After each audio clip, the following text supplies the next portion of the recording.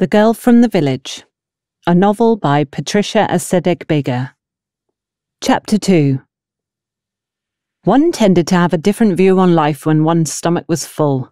Ada had been stressed from the day's work.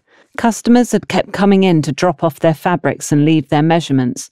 She knew everything had to be ready before the 22nd of December, which was when she normally closed up her shop to enjoy the Christmas festivities properly, as the season deserved. There had been that, as well as how exhausting it had been explaining to three different women that it was impossible to recreate their chosen styles with the materials they were providing. The last thing she wanted was last minute arguments. Some people expected her to squeeze water from stones, spending as little money as possible, yet demanding spectacular results. Ada knew from experience of past years that it would end up being the 23rd of December when she could finally put the closed for Christmas sign on the door of her shop. People would still try to get her on the phone, some even going to her house with one excuse or the other for trying to get her to work all night for their dresses to be ready on time. Good thing that she was also known for her no actually meaning no. The conversation she had had with Chinenye in her shop earlier on suddenly came to mind. The woman and her three children had appeared, with each child carrying a plastic bag, and the woman a magazine that she had proceeded to unceremoniously open on her work table, ignoring the fact that Ada had been up to her neck in work. There had been materials stacked all over the place, and notes with styles and measurements pinned to each of them. Chinenye had then proceeded to bring out two materials from the bag that her daughter was carrying, which had caught Ada's attention and left her lost for words. Contemplating them, it had been difficult to choose which was more hideous. If there was a contest for ugly materials, the judges wouldn't even have to take a vote. Ada, I've brought my styles and on time, so you won't put me through the trauma of last year, Chinenye had said. Ada had taken the magazine from her, refusing to be once again drawn into the argument of the previous year when the women had expected her to dress the six members of her family in 24 hours, and had then acted all offended when Ada had refused to work on Christmas Eve. Chinenye had made sure to let everyone who cared to listen know how wicked Ada was. So which do you want to use for each style? Ada had asked, thinking that any style chosen in this case would not make the slightest difference. What do you mean? You have to combine them together in each design, Chinenye had said. That's the new fashion in Lagos. My sister sent the materials to me, and she told me they were sold together on purpose. Be careful with them. They're very expensive, not like some of the things you have here. Ada's eyes had widened in shock as Chinenye had eyed the packs of fabrics in her shop with evident distaste. Ha! The new trend in which Lagos? Lagos, Nigeria, or Lagos in. Ada had asked, trailing off and shaking her head in amazement at how delusional people could get. The colour combination of each cloth had been difficult to look at separately. If one person had to wear both at the same time, their village would trend on every single social media platform, and not in a good way. Part of her wanted Chinenye to actually wear it so people would stare at her, and the same shock that she was doing at that precise moment. But one look at the horrified face of Mercy, the woman's daughter, was enough to make her at least attempt to prevent that disaster from happening. Those kinds of events were stories recounted years later in the office of a very expensive therapist. Ada, sometimes you say things that make me question if the references you keep throwing around about the exquisite clientele you've worked for are true, Chinenye had said indignantly. This is publicity for you. People will ask us who made it for us, and I will do you the favour of letting them know that it's your work. Do you know how much some pay for that kind of exposure? Please don't associate me with this, Ada had replied. I feel it's more up Mama Ngozi's alley. As you see, I'm swamped, and I'm afraid that I can't accept your commission after which you will go around the village blaming me for people laughing at you and your daughter. I'm even afraid of looking at what the boys have in the other bags. No, Mama Ngozi's the person for this job.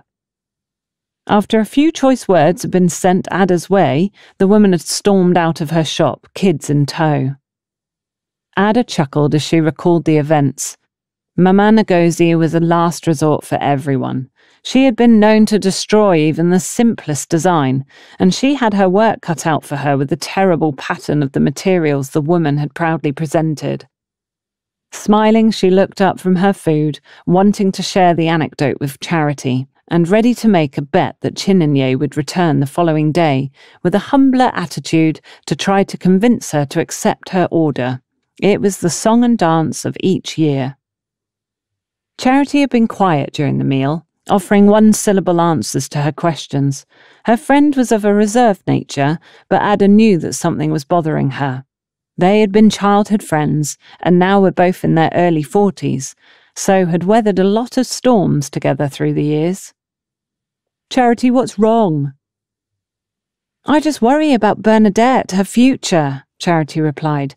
I didn't expect her to fail her exams, and now I'm concerned about her staying a whole year at home. I don't want her to lose focus. The one must go to university. Clara's daughter has come back from Lagos for Christmas, and Bernadette's spending too much time with her. I have no idea what she's filling her head with, just like I've never understood what exactly it is that the girl does in Lagos. Every time I ask Clara, the story I get is different. She's failed the entrance exam for university three times. Would you be comfortable with such an association? Today, Obiageli reminded me of the plight of Ego, Dorcas's daughter. Are you paying attention to the village gossip now? Ada asked. You know she enjoys helping people wash their dirty linen in public over and over again, so they forget about all the scandals her own family has been involved in. Or have you forgotten that Cosmas, her own son, was part of that gang that was featured on the news last year? She told everyone that he'd gone away to stay with her brother, but we all knew where he's spending his days. Please, Charity, you have nothing to feel bad about. Bernadette is not Ego, so don't let people get into your head. I too was very surprised with her results, but it happens. After all, all but three of her classmates will be repeating the exams. Yours were not the only cries of lament the village heard the day the results came out. You have no idea the number of parents I've consoled in these past weeks. Even those that knew for certain that their son or daughter was going to fail still cried out in shock. I had to keep a straight face in some instances. I just had an idea, Ada exclaimed. You know a lot of people come to the village to spend the Christmas period here. One of my customers asked if I knew a girl willing to go back with them to the city to help with the house chores. It might be a good plan for Bernadette. They could pay for extra lessons for her to prepare for the exam once again, and you wouldn't have to worry about those expenses. I know that you've been calculating and calculating in that notebook of yours to see how much you'd need to cover the tuition. I don't know, Charity replied. I've never sent my children out with strangers. You hear so many stories of how some people treat young boys and girls that work for them. Just last month, Ndidi ran away from the home in Onitsha she was sent to. Did you see the marks on her legs? Her mother wept bitterly. She told me what had occurred when she passed by my stall on the market. She said they'd starved and beaten her whenever she did something wrong. No, Ada, I can't be alive and let someone do that to any of my children. It can't happen. She shook her head vehemently. But you know them, the Akedis, Ada said. They come home every year. She was the lady that presented Father Mike with a goat last Christmas. They seem quite well to do. I know some people are wicked, but others are genuinely good people. They just prefer bringing someone they know into their home. You should at least meet her before deciding. I've been their family seamstress for over five years.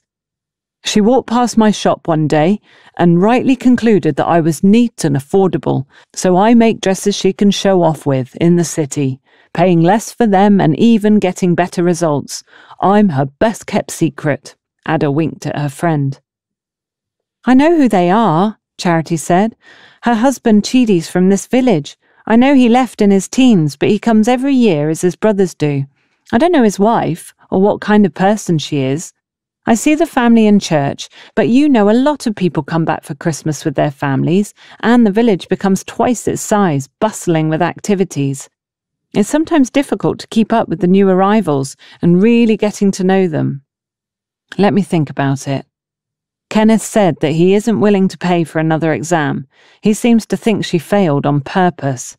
He says he has better things to do with his hard earned money.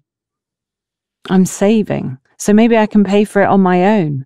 I just don't want her to laze around for a year and lose focus. Ada studied her friend thoughtfully. She was one of the few people who knew what had really happened to Charity. Ada admired all the sacrifices that she had made in bringing up five children on her own. It had not been easy, but maybe Bernadette was not university material. Failing once was not an indication that she wasn't, but she did not want Charity to be disappointed.